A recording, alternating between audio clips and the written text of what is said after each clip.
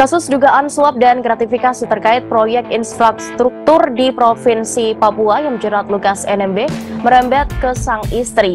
Komisi Pemberantasan Korupsi atau KPK juga memblokir rekening istri Gubernur Papua Lukas NMB yakni Yulce Wenda.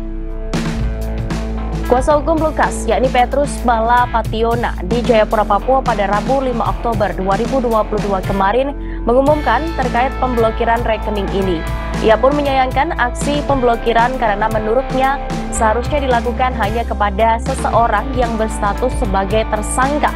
Petrus menduga pemblokir Petrus menduga pemblokiran rekening dari istri Lukas NMB, yakni akibat Yulce tidak menghadiri pemeriksaan sebagai saksi oleh KPK.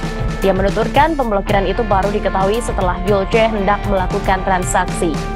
Informasi pemblokiran rekening istri Lukas NMB ini pun dikonfirmasi oleh Kepala Bagian Pemberitaan KPK, yakni Ali Fikri, yang membenarkan pemblokiran masih berkaitan dengan kasus dugaan suap dan gratifikasi terkait proyek infrastruktur dengan tersangka Lukas NMB. Ali mengungkapkan KPK sudah lama memblokir rekening Yulce Wenda namun ia memastikan pemblokiran dilakukan bukan karena Yulce mangkir dari pemeriksaan KPK pada Rabu 5 Oktober kemarin. Sebelumnya istri Lukas NMB Yulce Wenda dan anaknya yakni Astrak Bona dijadwalkan diperiksa di Gedung Merah Putih KPK Jakarta pada Rabu 5 Oktober kemarin. Namun kuasa hukum keluarga Lukas NMB mengatakan keduanya memilih memakai hak untuk tidak memenuhi panggilan.